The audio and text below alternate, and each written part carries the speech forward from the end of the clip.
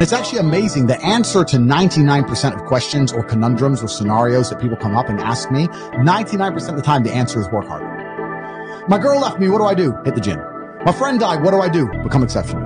Uh, I'm sad. What do I do? Train. Like the answer is nearly universal. Yep. It's always working harder is never gonna not help. No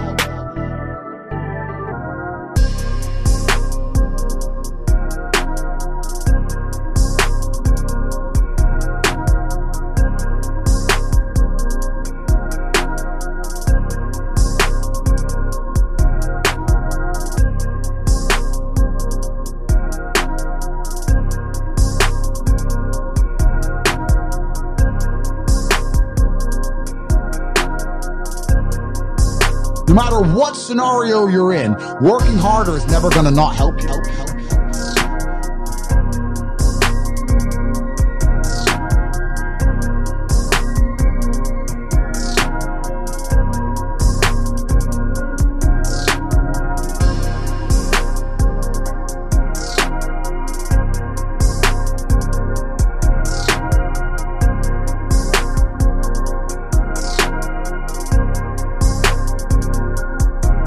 And it, it's amazing that I give different versions of the same answer for 99% of the questions I'm asked. Work harder. If you have a problem, whether you're broke, whether you're out of shape, whether your fucking friend dies, whether your girl leaves you, whether you're depressed, whatever it is, working harder is almost always the answer. So you know what you need to do. You need to do it. And what's amazing, again, it's kind of like the antidote. If you take the antidote before the poison, then you never get sick in the first place. If you're always working as hard as possible, you're always working your ass off and trying to be the best version of yourself every single day, then you never get sick in the first place.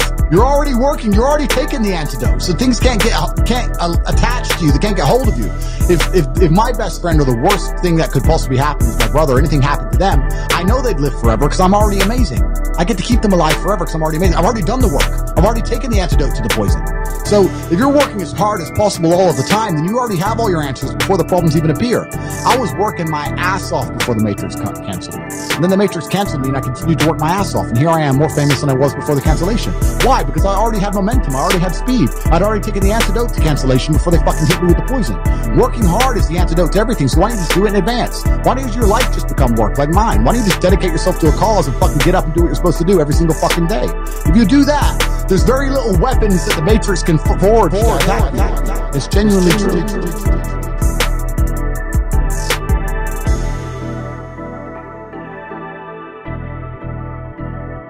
No matter what scenario you're in, working harder is never going to not help you.